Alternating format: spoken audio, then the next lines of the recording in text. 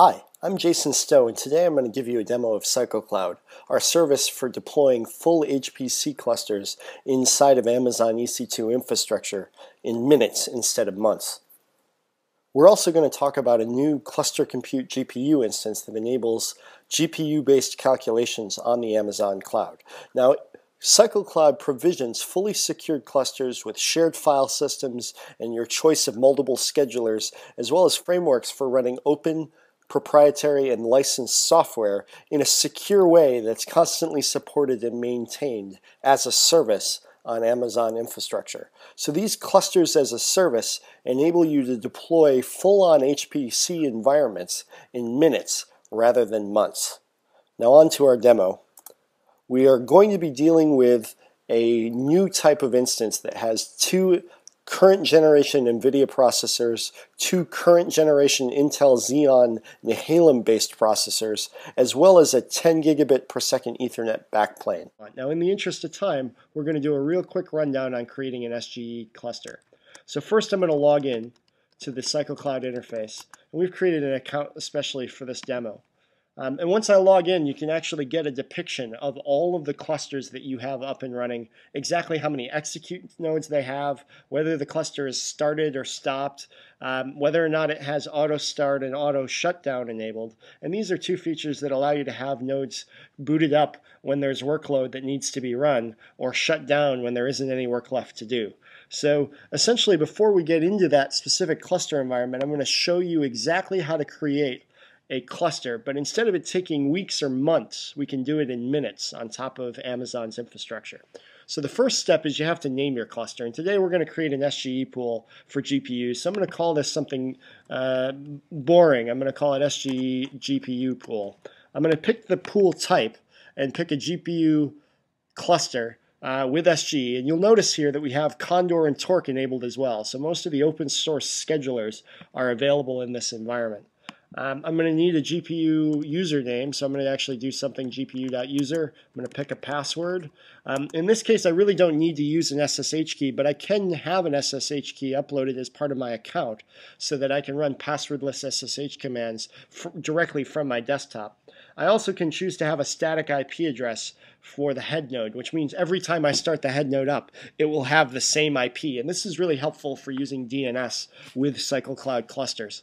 In this case, I'm actually going to pick a really small shared file system, and the, all the following options deal with the shared file system. I want a really fast format time, so I'm only going to do 20 gigabytes, although you can pick uh, in excess of a terabyte if you want in order to, um, to maximize the storage available on the scheduler. I'm also going to not have any encryption available, even though we do have 128-bit through 256-bit AES encryption uh, available for all of the shared file system data. And we can also pick to have the clusters themselves have persistent disks. And in this case, um, we really don't care about that. We're not going to be turning this node off and then expecting all of the data to still be there when we turn it back on again later. Uh, but that is an option and is something you can definitely want to do on, on most normal clusters.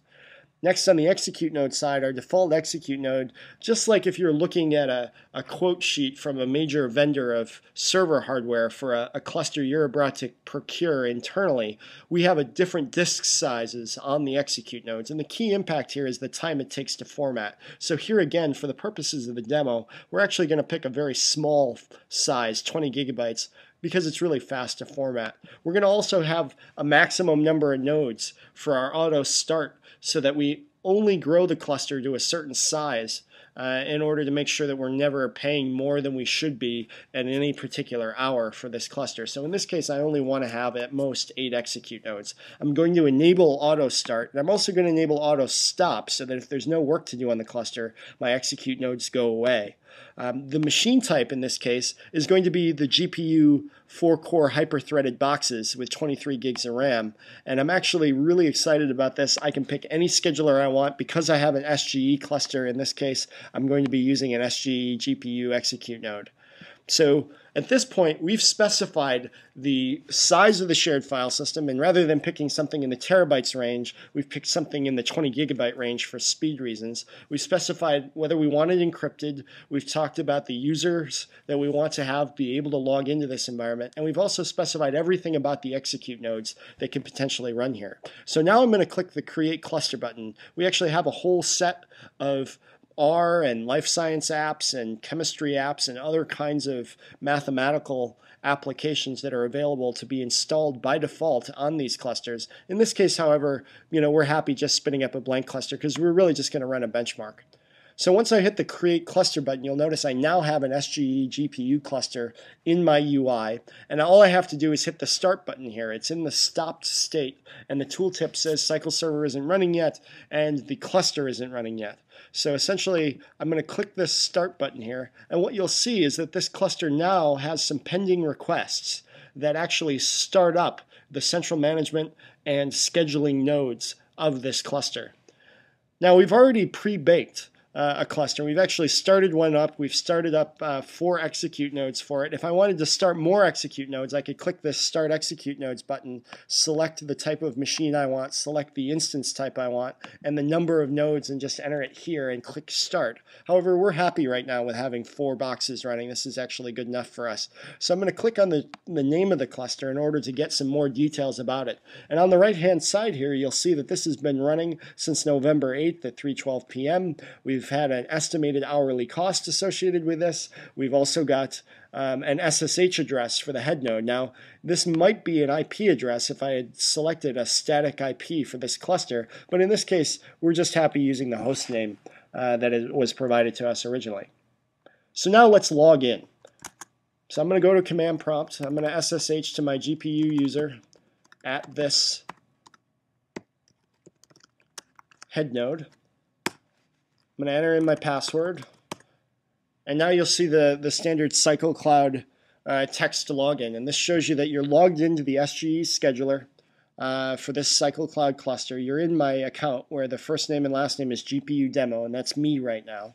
And the pool name, you'll notice the cluster name is GPU cluster. And this is exactly the same as the cluster name that was in our UI. So we basically are inside this GPU cluster now.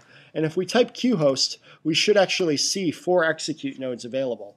Also, if we type df, we should see that there's a 20 gigabyte mounted file system that's now available and it's shared across all of these nodes. And you can see that in the mount exports shared directory uh, is approximately 20 gigabytes in size.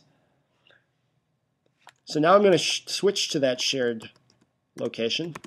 And you'll see in, inside this shared directory, we have some pre-populated bin directories where I can create symlinks to applications that I install. I have my Scratch directory. I've got a Pi simulator as an example run. I also have something called SHOC. And SHOC is where we're going to go today. SHOC is the GPU benchmark created by the Oak Ridge National Lab Future Technologies Group. And when we go to the SHOC directory, we're going to notice a final results.csv. That's actually the output of running this benchmark against an execute node.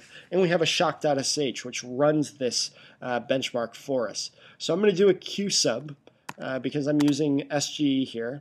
And I'm going to submit this shoc.sh to run. Um, and now that this job has been submitted, I'm going to actually take a really quick look at the final results that'll actually come out when this is done.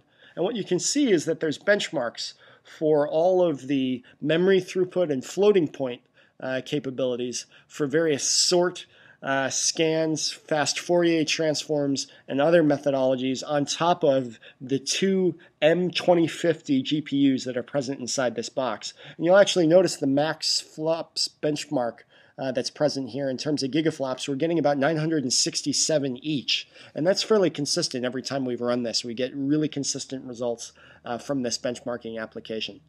So now if I type qstat, I should be able to see the results of my earlier qsub. And this job, the SHOC job that I submitted earlier, you can see is running. You can see it's running on this uh, on the all queue here, and we essentially have, if you look at qhost, um, an elevated load average on the IP 10, 17, 129, 106 box here that is actually running this job for us. So today we've seen how you can use CycleCloud to create entire HPC environments inside of Amazon EC2 that take advantage of the latest Intel Xeon and NVIDIA GPU-based instances. And just like internal clusters, you get SSH access to these boxes with your favorite schedulers deployed and 10 gigabit per second interconnect. But these clusters can be sized to the jobs that you have in hand, unlike internal clusters. CycleCloud, full HPC clusters in 10 minutes on Amazon.